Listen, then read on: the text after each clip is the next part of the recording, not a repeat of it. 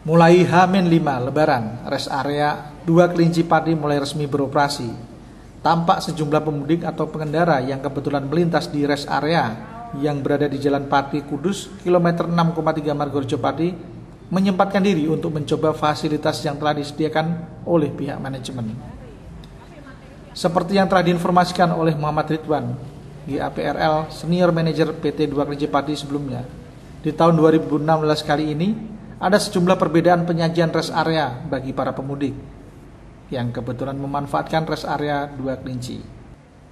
Adanya posko terpadu yang berada di depan rest area, ditambah lagi fasilitas pijat gratis, arena bermain anak-anak, lokasi foto selfie, koleksi kelinci hingga warung makan, stakio souvenir, menambah lengkapnya rest area yang berada di halaman depan pabrik dua kelinci pati. Kami menyediakan beberapa fasilitas-fasilitas seperti eh, ada pijat gratis, kemudian ada beberapa game, kemudian ada kopi gratis dan juga foto yang konsep tahun ini. Kalau yang tahun lalu kita internasional, untuk tahun ini kita mencoba tempat-tempat objek wisata yang ada di Indonesia.